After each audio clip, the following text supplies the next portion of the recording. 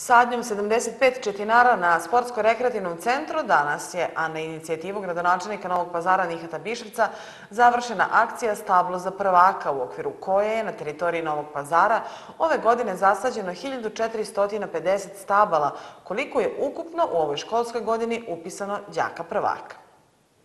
Projekat Stablo za prvaka inicirao je gradonačelnik Novog pazara Nihad Biševac. Danas zasađenih 75 nealergenih smrča i borova simbolizuju broj odjeljenja prvaka u novopazarskim osnovnim školama. Meni je zadovoljstvo da smo danas bili u prilici i da sa džacima iz osnovnih škola i iz ekoloških društava sadimo stablo za prvaka.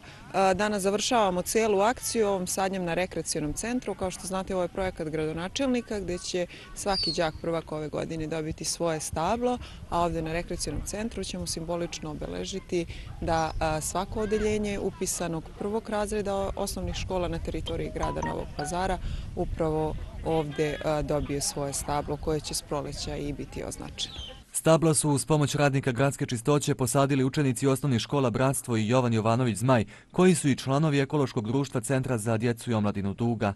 Ovo je naš prvi put u prirodi da nešto sadimo. U školi mi stalno e, uzgajamo biljke i pokušavamo da se u tome ostvarimo, ali ovo je prvi put u prirodi da smo došli da se pokažemo. Ova akcija je veoma, veoma je dobra za nas, za mlade generacije, jer ipak neke generacije i svi ostali ne neguju baš prirodu, a mislim da bi to trebali da rade. I danas smo se okupili mi tu ekolozi kako bi e, sadjeli 75 e, e, jelkica koje je namenjeno za 75 odeljenja nove generacije, to je prvaka. Rado se odazivam ekološkim sekcijama i potpomažem koliko mogu u prirodi. Danas smo svjedoci ekološke akcije u sađenju jelki. Danas ćemo da posadimo 75 jelki za 70 odjeljenja za prvake i želim da se zahvalim ekološkom društvu i Centar Dug. Cilj akcije Stablo za prvaka je ozelenjavanje površina, stvaranje ekološke svijesti, ali odgovornosti kod naših najmlađih sugrađana.